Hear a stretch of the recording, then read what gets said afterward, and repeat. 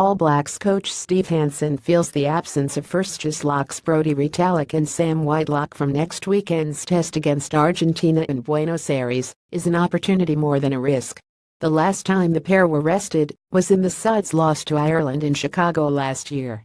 It's about the risk and reward really. If we don't do things differently we are going to get to the end of the year and the three test matches in the UK become extremely difficult because you've got tired athletes. That's where we lost the game last year on the beginning of that tour, he said. Luke Romano also hadn't been available for that game so with Scott Barrett playing his first test and Jerome Kaino out of position as a lock, a decision they got wrong, he said. Since then Barrett had got a lot of miles under his belt, while Patrick Tuipulotu was back playing well for Auckland and Romano was playing well, so the scenario was a little different this time, he said. Kaino had been getting valuable game time with Auckland, while Tuipulotu was regaining his confidence after what had been a tough 12 months for him. Hess hung in there well, Hess playing well I think in a team that's struggling a little, but Hess leading that team and doing his utmost on the park to lead it through his actions, so Hess pretty good shape, added Hansen. I had a good chat to him before and Hess excited. That's where you want him, Hess a good athlete when Hess on song, and we think Hess coming to that. We're comfortable in our skin that these guys are good enough if they prepare well enough to play well so we'll give ourselves a chance of winning the game. Lima Sopoaga had dropped out of the Argentine leg as his wife gave birth to their first child, and it had always been a possibility that Beauden Barrett would be called in, and that call came through on Thursday evening. If all goes well, Sopoaga will join the side in South Africa.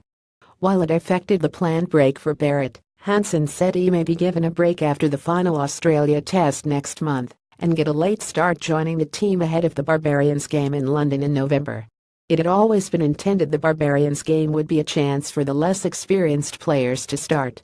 The younger guys will have an opportunity to experience it all without the pressure, he said.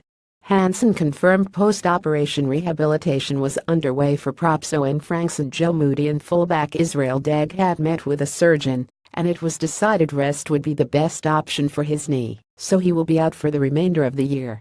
He said the selectors did still manage to keep an eye on the Mitre 10 Cup competition and he felt the standard had been good this year.